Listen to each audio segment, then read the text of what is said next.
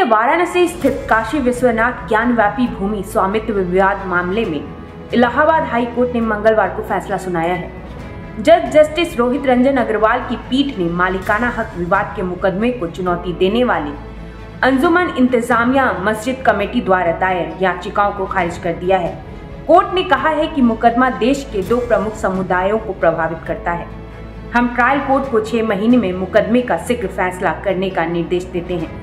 Allahabad high court ने यह भी कहा कि एक मुकदमे में किए गए एएसआई सर्वेक्षण को अन्य मुकदमे में भी दायर किया जाएगा। और यदि निचली अदालत को लगता है कि किसी हिस्से का सर्वेक्षण आवश्यक है तो अदालत एएसआई को सर्वेक्षण देने का निर्देश दे सकती है। अंजुमन इंतजामिया मस्जिद कमेटी और उत्तर प्रदेश सुन्नी सेंट्रल वक्फ बोर्ड द्वारा दायर याचिकाओं में ज्ञानवापी मस्जिद का व्यापक सर्वेक्षण करने के वाराणसी अदालत के 8 अप्रैल 2021 के आदेश को भी चुनौती दी गई है।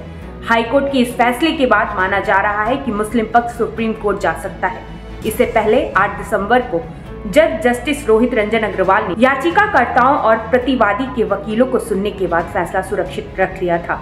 वाराणसी में काशी विश्वनाथ के निकट स्थित ज्ञानवापी मस्जिद के प्रबंधन की देखभाल करने वाले एआईएमसी ने वाराणसी अदालत के समक्ष दायर एक मुकदमे की स्थिरता को चुनौती दी थी।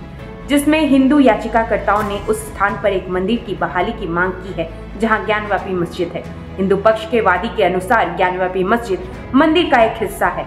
हालाँकि अंजुमन इंतजामिया मस्जिद कमेटी और UP Sunni central Waqf board का तर्क यह है कि मुकदमा पूजा स्थल अधिनियम द्वारा निषेध है।